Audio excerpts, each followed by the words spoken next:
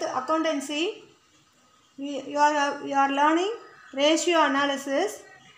In the previous classes you have learned about what is ratio analysis what are the objectives of ratio analysis what is the meaning of ratio analysis and then what are the ratios calculated under the financial analysis.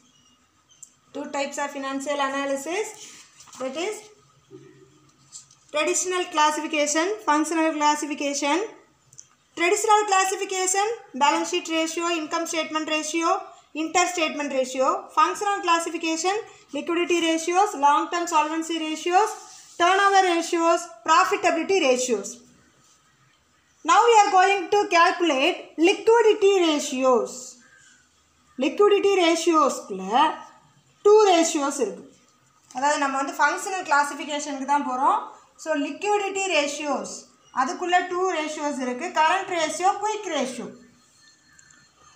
current ratio அப்படின்னா என்ன? Current ratio gives the proportion of current assets to the current liabilities of the business concern current ratio current ரேஷியோனா என்ன? Current ratio is equal to current assets by current liabilities. Current assets by current liabilities. So current ரேஷியோவை நம்ம எப்படி calculate பண்ணலாம் அப்படின்னா it is the proportion of proportion of current assets to the current liabilities of a business concern it is computed by dividing current assets divide by current liabilities current ratio include இதை வந்து நம்ம எதற்காக calculate பண்ணுறோம் What is the purpose for calculating current current ratio it indicates the ability of the entity to meet its current liabilities as and when they are due for payment அதாவது ஒரு வருஷத்துக்குள்ளே பே பண்ண வேண்டிய ஆப்ளிகேஷன்ஸை ஒரு வருஷத்துக்குள்ளே பே பண்ண வேண்டிய லையபிலிட்டிஸை பே பண்ணுறதுக்கு நம்மக்கிட்ட கரண்ட் அசெட்ஸ் எவ்வளவு இருக்குது அப்படின்ற எபிலிட்டி அந்த ஃபார்மோட எபிலிட்டியை தெரிஞ்சுக்கிறதுக்காக கால்குலேட் பண்ணுறது தான் current ratio so current ratio is to calculate to compute the ability to pay its current liabilities. Ability to pay its current liabilities. So current ரேஷியோவை நம்ம ஒரு வருஷத்துக்குள்ளே பே பண்ண வேண்டிய லயபிலிட்டிஸ்க்கு அதற்கு தேவையான அசட்ஸ் இருக்கா இல்லையான்றதை அசஸ் பண்ணுறதுக்காக தான் நம்ம கால்குலேட் பண்ணுறோம் so formula for current ratio formula for current ratio is equal to current ratio is equal to current assets divided by current liabilities அப்போ நம்ம அடுத்தது என்ன பார்க்கணும் அப்படின்னா கரண்ட் அசட்ஸ்னால் என்ன என்ன அசட்ஸு அப்படின்றத நம்ம தெரிஞ்சுக்கிடணும். So current assets include current assets is equal to எதெல்லாம் வந்து கரண்ட் அசட்ஸுக்குள்ளே வரும் அப்படின்றத நம்ம பார்க்கணும். Current assets include cash cash equivalents prepaid expenses current investments inventories trade receivables so இவங்க ஒரு சம் கொடுத்துருக்காங்க பாருங்கள் நம்ம சம்முக்கு கூட டைரெக்டாக போகலாம். ஸோ கரண்ட் அசட்ஸுக்குள்ளே என்னென்ன ஐட்டம்ஸ் இன்க்ளூட் ஆகும் அப்படின்னா current investments current investments plus inventories inventories plus trade receivables trade receivables plus cash and cash equivalents cash and cash equivalents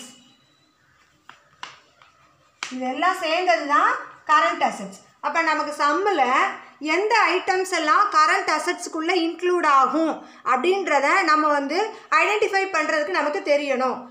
then only you are Cola you are willing to calculate the current ratio. You are in a position to calculate the current ratio. So current assets என்னென்ன items வரும்? Current லயபிலிட்டிஸ்க்குள்ளே என்னென்ன items வரும்? அப்படின்றத நம்ம identify பண்ணிட்டாலே current ரேஷியோவை நம்ம ஈஸியாக கால்குலேட் பண்ணிடலாம் ஸோ கரண்ட் அசட்ஸ்க்குள்ள என்னென்ன வரும்னு சொன்னேன்? Current investments inventories trade receivables cash and cash equivalents அதாவது நீங்கள் பேலன்ஸ் ஷீட்டில் பார்த்துருப்பீங்க.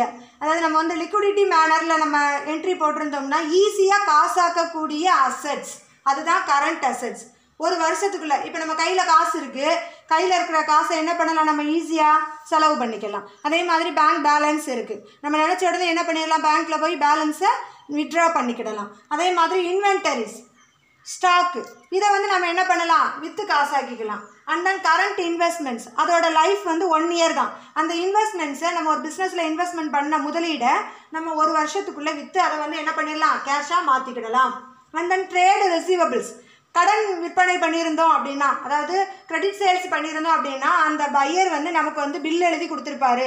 இந்த இவ்வளோ தேதிக்குள்ளே த்ரீ மந்த்ஸுக்குள்ளே நான் வந்து உங்களுக்கு பணத்தை பே பண்ணுறேன் அப்படின்னு சொல்லி. ஸோ இந்த ட்ரேடு ரிசீவபிள்ஸுக்குரிய பணம் ஒன் இயர்க்குள்ளே நம்ம கைக்கு வந்துடும் and then cash and cash equivalents பணம் ரொக்கம் ரொக்கத்துக்கு இணையான சில சொத்துக்கள். இது எல்லாமே கரண்ட் அசட்ஸ்க்குள்ளே இன்க்ளூட் ஆகும். ஸோ கரண்ட் அசட்ஸுக்குள்ளே என்னென்ன ஐட்டம் வரும் அப்படின்றத நீங்கள் தெரிஞ்சுக்கிட்டிங்கன்னா கரண்ட் ரேஷியோவை ஈஸியாக கால்குலேட் பண்ணிடலாம். பாஸ் பாஸ் நெக்ஸ்ட்டு நம்ம பார்க்க போகிறது current liabilities current liabilities includes trade payables trade receivables மாதிரி trade payables plus expenses payable expenses payable plus trade creditors. Trade creditors. இந்த ஐட்டத்தெல்லாம் நம்ம ஆட் பண்ணோம்னா நமக்கு வந்து என்ன கிடச்சிரும்? கரண்ட் லையபிலிட்டிஸ் கிடச்சிரும். ஸோ கரண்ட் லயபிலிட்டிஸை நம்ம கால்குலேட் பண்ணிட்டோம்னா current assets divided by current liabilities calculate பண்ணிடலாம். ஈஸியாக கரண்ட் ரேஷியோவை ஸோ இதில் ஐட்டமோட அமௌண்ட்டை நம்ம எடுத்து எழுதணும். ஐட்டத்தோட அதாவது current investments current investments eighty thousand plus plus inventories 1 lakh 60000 plus 4 lakh plus 1 lakh 20000 plus 40,000 divided by current liabilities 1 lakh 60,000 plus 1 lakh plus 1 lakh 40,000 so நமக்கு answer என்ன வரும் பாருங்க add பண்ணுங்க 80,000 plus 60,000 1 lakh 40,000 1 lakh 40,000 plus 4 lakh 5 lakh 40,000 5 lakh 40,000 plus 1 lakh 20,000 6 lakh 40,000 then plus 40,000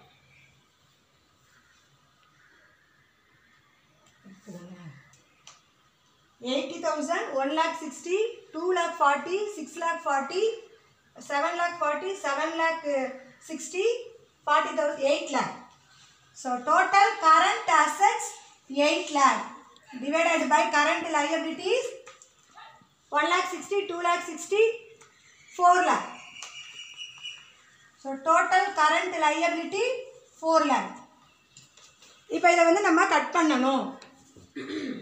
பண்ணோம்னா அந்த ரேஷியோவை calculate பண்ணிடலாம். ஏன்னா கரண்ட் ரேஷியோ வந்து நம்ம ப்ரப்போர்ஷனில் தான் எக்ஸ்ப்ரெஸ் பண்ண போகிறோம் ஸோ இதை வந்து ஈஸியாக தான் உங்களுக்கு இருக்கும் கட் பண்ணுறதுக்கு கீழே ஒரு ஜீரோ கட் பண்ணுங்கள் மேலே ஒரு ஜீரோ கீழே ஒரு ஜீரோ மேலே ஒரு ஜீரோ கீழே ஒரு ஜீரோ மேலே ஒரு ஜீரோ கீழே ஒன்று மேலே ஒன்று பண்ணியாச்சா? ஜீரோ ஜீரோஸ் கட் ஆயிடுச்சு தென் எயிட்டையும் ஃபோரையும் டிவைட் பண்ணுங்கள் ஃபோர் டேபிளில் டிவைட் பண்ணுங்கள் one four is four two fours are eight so இதை எப்படி நம்ம ரைட் பண்ணலாம்? டூ பை ஒன்னுன்னு ரைட் பண்ணலாம். இதை இன்னொரு ஃபார்மேட்டில் எப்படி ரைட் பண்ணலாம் அப்படின்னா ப்ரப்போர்ஷனில் that is two is to one அப்படின்னு ரைட் பண்ணலாம். ஸோ மேலே இருக்கிறத ஃபஸ்ட்டு எழுதிக்கோங்க. Two is to one so current ratio is equal to two is to one இதுதான் ஆன்சர்